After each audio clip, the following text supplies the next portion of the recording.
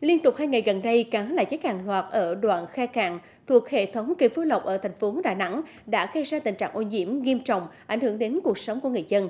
Nước có màu đen liên tục chảy từ khe cạn ra kênh Phú Lộc. Cả khu vực này cá chết hàng loạt, kèm với rác thải ứ lại và bốc mùi hôi thối nồng nặc.